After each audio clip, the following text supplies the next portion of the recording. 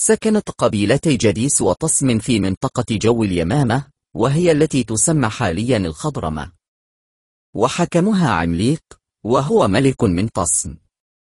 كان عمليق ظالما متسلطا في حكمه لا يجد من يردعه لأن قبيلته أقوى من جديس.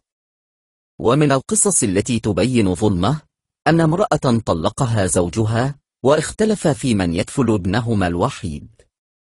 فحكم عمليق بأن يكون الولد من غلمانه وتباع المرأة في سوق العبيد فيعطى زوجها السابق خمس ثمنها وهو يباع فتعطى عشر ثمنه. قالت المرأة قصيدة هجاء وصفت فيها ظلم عمليق وندامتها وزوجها على الاحتكام له. فعندما سمع عمليق الأبيات غضب غضبا شديدا وأمر بألا تزوج فتاة من جديس إلا ويدخل بها قبل زوجها.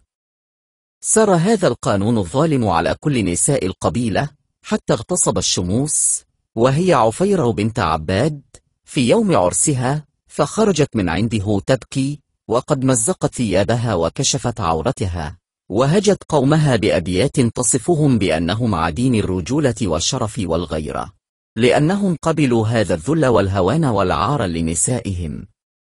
عندما علم أخوها الأسود بذلك ثارت حميته وقد كان من قادة جديس فاجتمع بقومه وقرروا القضاء على عمليقا وقبيلته بخطة ماكرة أعد الأسود وليمة كبيرة دعا إليها عمليق وكل قبيلة طسم فلبوا الدعوة. وعندما باشروا بتناول الطعام أخرج مقاتل جديس أسلحتهم التي دفنوها في الرمال وقتلوا عمليقا والتصميين مع عبيدهم. أبدوهم جميعا ولم يبقى منهم إلا قليل هربوا لاجئين إلى مملكة حسان ابن تبع في اليمن.